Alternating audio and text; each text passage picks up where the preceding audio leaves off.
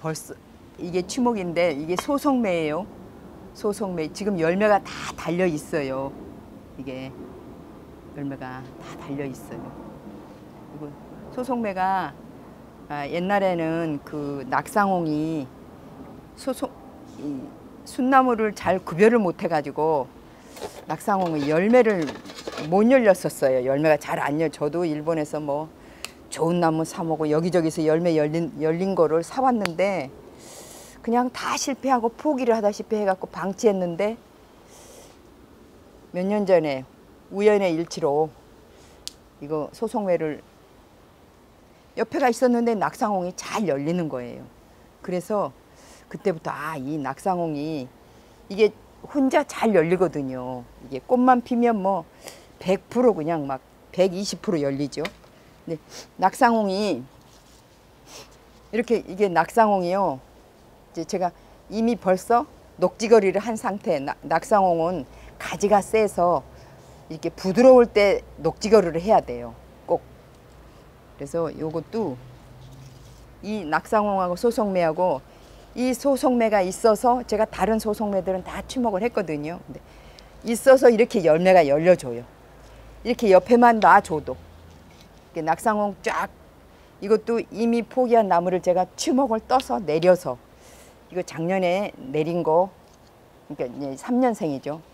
이 거를 녹지 거리로 해줘야 돼요. 뭐 어떻게 쓰건 간에 이렇게, 이렇게 모양 하려면 안 쓰려면 잘라주고 쓰려면은 이걸 녹지거리를 일단 해놔야 돼요. 그래야지 이 상처 없이 그렇지 않으면 뚝 부러져 버려요 그냥 얘가 다. 예, 일단 이거 치목하는 거를 이건 해드릴게요. 다 치목을 해야 돼 이렇게 치목해서 이것만 있으면 낙상홍이 아무리 큰 나무가 있어도 다 치, 저기 접이 돼요. 아니 열매가 열려줘요. 이렇게 하면 밑에 가지가 살아줘요. 밑에 이건 접대린 거더라고요. 제가 어디서 수, 이거 구한 건데 예. 이렇게 이렇게 이렇게 표피만 피는 거예요. 이거 어느 분이 질문하셨더라고요. 근데 표피만 표피만 싹 벗겨 주는 거예요.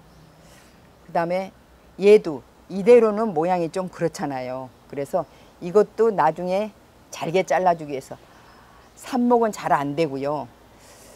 추목이 잘 돼요. 더 잘 돼요. 추목이. 그리고 이거 지금 이거는 이렇게 뿌리 한 나무에서 여러 개를 할 수 있어요.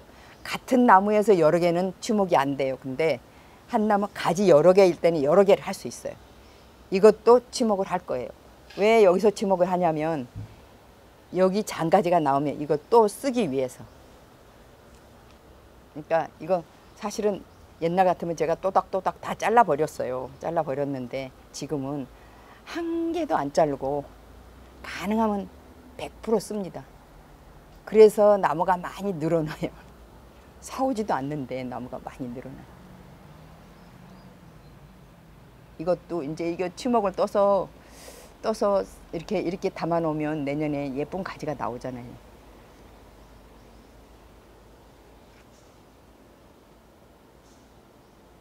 한 0.5cm 내지 1cm 그 사이를 표피를 싹 까면은요.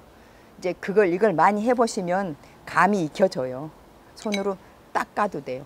손으로 이렇게 딱 까고 붓으로 발라야 되는데 언제 붓을 바르고 있어요. 근데 저는 그냥 이거는 어디 영국 이거 동부 유톤이네. 동부 루톤이네. 예, 이것도 농약이니까 조심하셔가지고 이게 싹 발라주고요. 세 개를 동시에 할 수 있어요.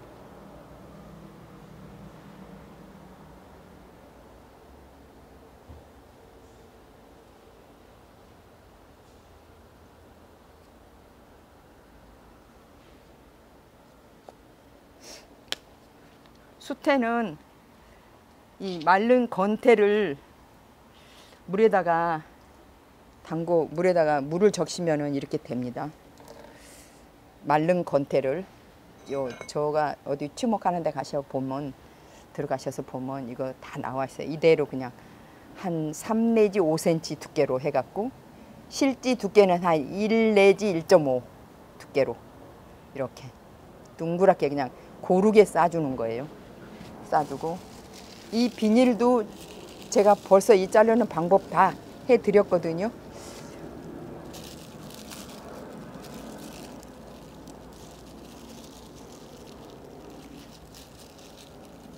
근데 이게 7월 이미 7월은 사실은 이거 추목하기에는 늦었는데 에, 이 되는 나무가 있어요. 뭐 마삭줄 되고요. 뭐 백화등 마삭줄 다 되고요. 그다음에 백일홍도 되고요. 제일 잘 되는 나무들. 그다음에 진백류, 편백류 다 됩니다. 이것도 제일 가는 철사, 제일 가는 철사를 적당하게 잘라놓고 이게 너무 꽉 묶어도 물이 위로 들어갔다가 밑으로 빠져야 돼요. 전체를 다 묶어 놓으면은 그거는 안 되고요. 이렇게 물이 들어갔다가 밑으로 빠져야 되니까 혹시 철사가 너무 작으면 한 번 더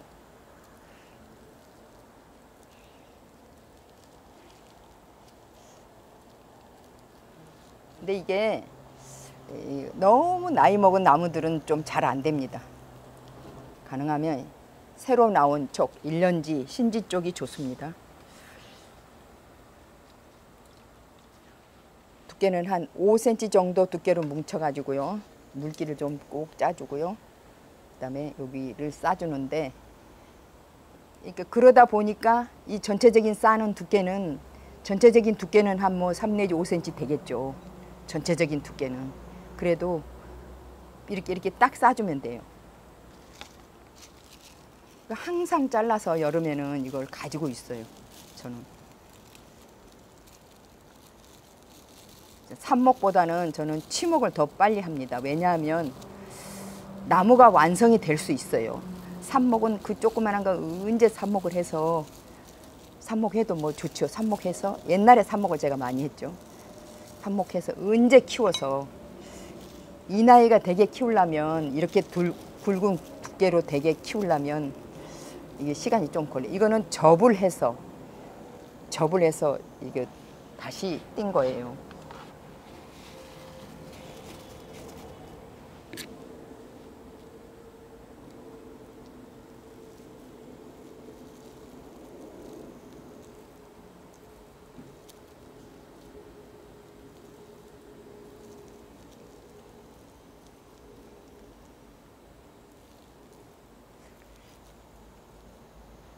지금 엄청 더울 때니까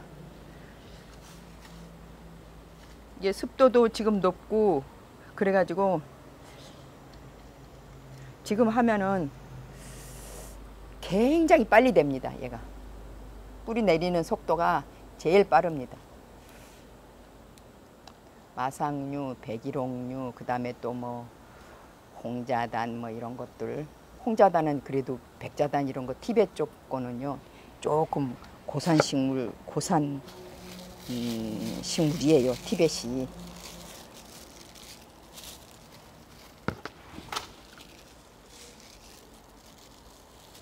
이렇게 저는 심하면 일년에 한, 한, 심하면 한 몇백 개, 뭐, 심하면 뭐, 뭐 몇백 개 합니다.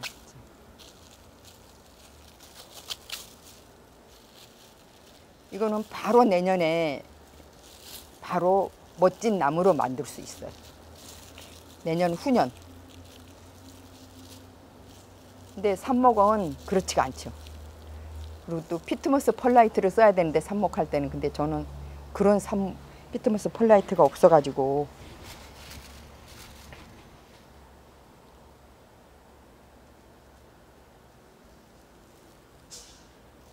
만일에 피트머스 펄라이트를 사시면 바로 씻어서 어, 마사나 또는 뭐 일반 우리 일반 흙에다가 옮기셔야 돼요.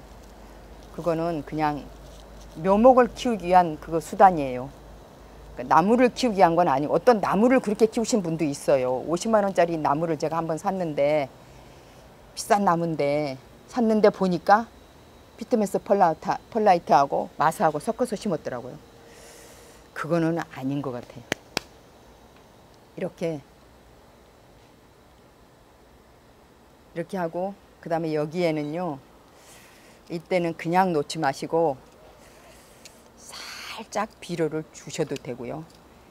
지금은 좀 썩은 7월이니까 조금 부담스러워서 비료 주는 건 아닌데 그래도 비료를 조금만 주면 됩니다. 조금만.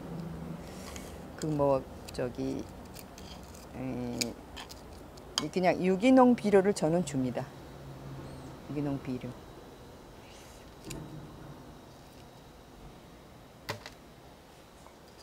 뭐 그린킹 약간만 주면 되고요. 그린킹이나 바이오골드는 다 녹아야 되니까 조금 부담스럽고 빨리 녹을 수 있고 효과가 빠른 거 그거를 약하게 약하게 주고 흙을 살짝 양만 더 많아도 얘가 수분 관리가 더 원활하게 되거든요. 그래서 여기다가 무슨 흙이든 마찬가지예요.